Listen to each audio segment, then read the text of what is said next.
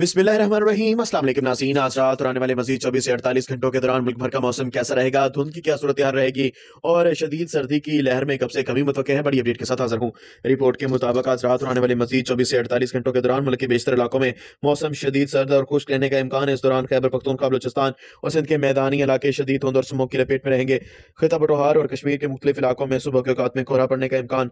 तफसीत के मुताबिक मरी रावलपिंडी, इस्लामाबाद फैसलाबाद मंगला जेलम डेरा गाजी खान गुजरावाला, गुजरात समेत मुल्तान रहीम, यार खान और पंजाब के बेशतर बालाई शुमार मशर की वस्ती इलाके शदीद उनकी लपेट में रहेंगे। तजरात भी मामूल से कम रहने का इम्कान। सकर लाड़काना जकबाबाद समेत बालाई सिंध और दीर चित्राल सवात बेटाबाद समेत सुबह बलोचिस्तान के भी मुख्तलिफ़ इलाकों और खैबर पख्तूनखा में धुंध का सिलसिला जारी रहने और शदीद सर्दी पड़ने की तो दर्जात मामूल से कम रहेंगे।